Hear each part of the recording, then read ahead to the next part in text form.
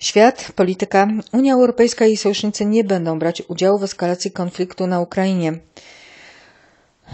Ukraina wpadła w polityczny impas. Fala protestów i wieców nie słabnie, a rząd po nieudanej próbie odwołania ostrzega, że sięgnie po bardziej radykalne środki.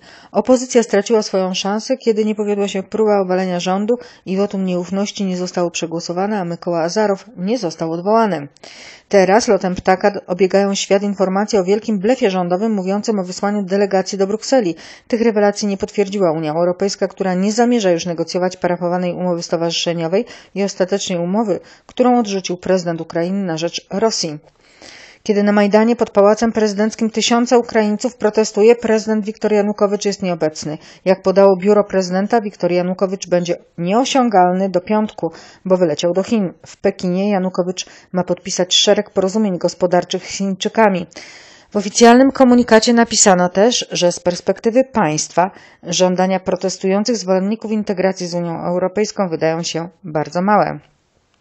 Na ulicach Kijowa według danych szacunkowych już w tej chwili demonstruje 300 tysięcy ludzi i jest to największa publiczna fala niezadowolenia, jaką zamanifestowali Ukraińcy od czasów pomarańczowej rewolucji w 2004 roku. Tylko po samym fiasku głosowania nad wotum nieufności dziesięciotysięczny tłum zebrał się na Placu Niepodległości w centrum stolicy.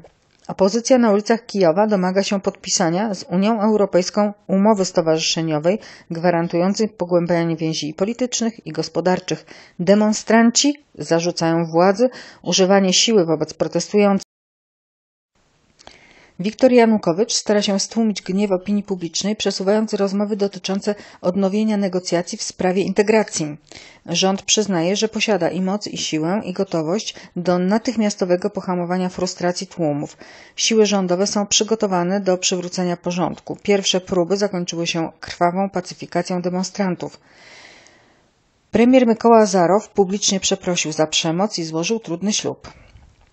Wyciągamy do Was naszą dłoń ale jeśli będziemy mieć do czynienia z pięścią, będę szczery, mamy wystarczająco dużo siły, powiedział Azarow. Analitycy ukraińskiej sceny politycznej uważają, że Azarow zdaje sobie sprawę, iż igra z ogniem.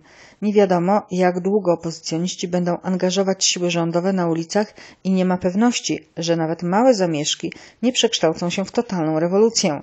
Gra na czas, jaką zdaniem think tanków rozpoczął Wiktor Janukowycz, też nie może toczyć się w nieskończoność. Opozycja zdobyła coraz większe poparcie w parlamencie, mimo fiaska ostatniego głosowania. Teraz dysponuje 186 głosami i potrzebuje już tylko albo aż tylko 40 kolejnych, aby uzyskać potrzebną większość do odwołania. Jeśli nie prezydenta, to gabinetu premiera z pewnością. Pozyskanie kolejnych głosów będzie nadal trwać, jak i sama akcja protestacyjna, oświadczył Witali Kliczko, mistrz świata wagi superciężkiej w boksie i lider opozycyjnej partii Udar.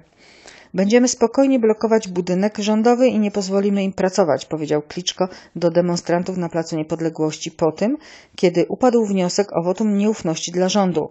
Według lidera nacjonalistycznej partii Swoboda, prezydent w obecnej sytuacji powinien natychmiast rozpisać nowe wybory, by zapobiec rozlewowi krwi na Ukrainie.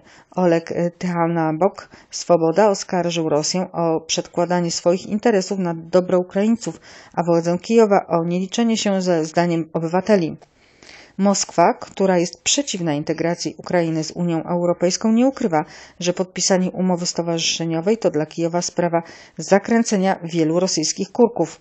Azorow i Janukowycz otwarcie mówią, że Ukraina chce dalszej integracji z Unią Europejską, ale musi wynegocjować lepsze warunki, dzięki którym Unia Europejska zrekompensuje straty, jakie poniesie Kijów w handlu z Rosją.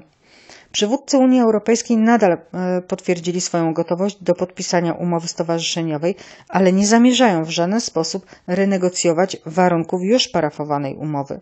Ukraińscy przywódcy mówią wyraźnie, że ich kraj jest uzależniony od dostaw rosyjskiego gazu ziemnego i trudno im będzie przekonać ludzi do gwałtownego wzrostu cen.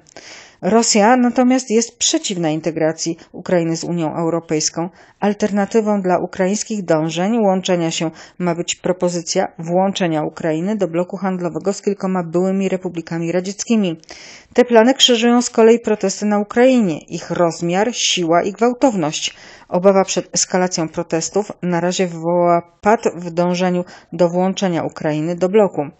W Brukseli na spotkaniu ministrów spraw zagranicznych państw członkowskich NATO sekretarz stanu USA John Kerry powiedział, że Europa i jej sojusznicy powinni wszyscy odmówić angażowania się w dość jasny, jawne i nieodpowiednie licytowanie konfliktu.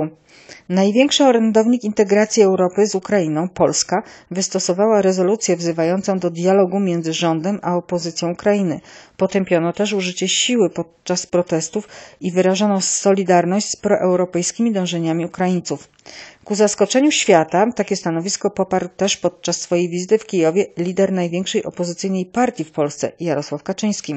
W środę w Kijowie mediował będzie Radosław Sikorski, szef polskiego MSZ. Rozmowy toczyć się mają w kierunku przekonania władz Ukrainy i opozycjonistów do organizacji referendum, które zdecydowałoby o dalszych krokach w sprawie umowy stowarzyszeniowej z Unią Europejską. Tymczasem Unia Europejska oczekuje od Ukrainy jasnej deklaracji i podpisania umowy. Na znak protestu po wycofaniu się Ukrainy z podpisania umowy stowarzyszeniowej większość delegacji zachodnich państw odwołała swoje wizyty w Kijowie. Mój serwis.blogspot.com